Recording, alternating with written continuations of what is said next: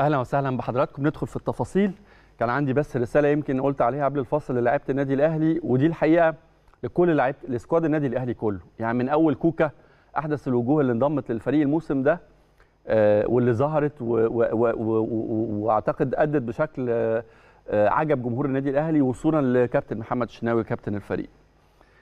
أنت في مرحلة آه، مهمة جدا وأعتقد لأول مرة من فترة طويلة الفرقة الإيقاع بتاع ال- المشوار بتاعها آه، بيهدى شويتين. يعني اللعيبة اللي كانت مصابة رجعت وفي منهم خدوا ماتش واتنين زي هاني وأيمن أشرف. آه، معلول إن شاء الله وحمدي فتحي الفترة اللي جاية ومحمد محمود كمان ومت ومتولي إن شاء الله الفترة اللي جاية يدخلوا كمان مع الفريق ويكونوا جاهزين. فالحمد لله جزئية الغيابات الحمد لله قدرنا نتخطى مرحلة صعبة جدا أثرت فيها الغيابات دي على مشوار النادي الأهلي.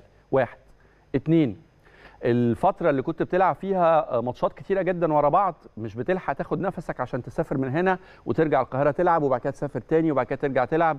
برضو مرحلة تقريبا وانتهت. ومن النهارده عندك براح كبير جدا حتى الفترة الصعبة في دوري الأبطال ود- ودور المجموعات وإنك تلعب ذهاب وإياب و إلى آخره برضو انتهت. مشوار أفريقيا كله فاضل فيه أربع ماتشات. إن شاء الله بإذن الله يكون أربع ماتشات. ماتش سوبر أفريقيا ذهاب وعودة مع الترجي وإن شاء الله ربنا يكتب لنا ماتش النهائي. فبرضه الإيقاع إلى حد ما هيهدى شويتين. فرصة كبيرة جدا إنك تحط كل تركيزك كل تركيزك في الكورة. واقفل ودنك شوية. أنا بقول الكلام ده لكل الناس والله مش بقوله لحد بعينه بقوله لكل الناس اقفلوا ودانكم شوية وابعدوا شوية عن السوشيال ميديا. محتاجين تركيزكم يا جماعة على قد ما تقدروا. محتاجين كل نقطة عرق تنزل في الملعب. محتاجين كل نفس بيطلع من اللعيب في التمرين وفي الماتشات. الفترة اللي جاية حاسمة جدا وقادرين قادرين. النهارده النهارده جمهور النادي الأهلي بيقارنكم بالجيل الذهبي.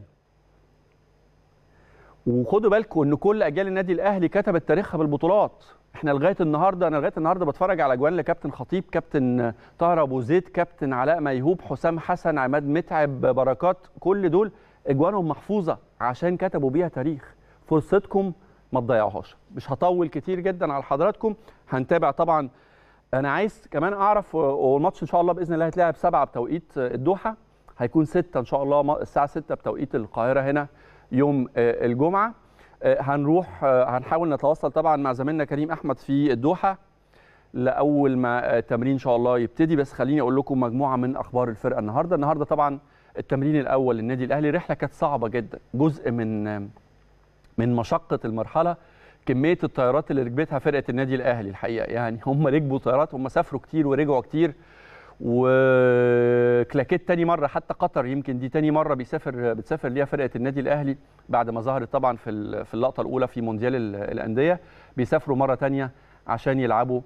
طبعا دي تاتشات بيتسو موسيماني. على فكرة بيتسو موسيماني اللي يخش حتى على اليوتيوب يدور له على على فيديوهات لما كان بيلعب. أنا شفت له فيديوهات وهو بيلعب في اليونان. لا كان لعيب آه، يعني ما يغركمش بس زيادة الوزن دي لكن كان لعيب جامد جدا طاهر طبعا مستنيين أنا طاهر من أول يوم بقول طاهر وناصر آه، ممكن يكونوا إضافة كبيرة جدا لل- للنادي الأهلي ولسه ما قدموش نص تقلهم يعني طاهر آه، محمد طاهر وناصر ماهر لو لو خدوا. و...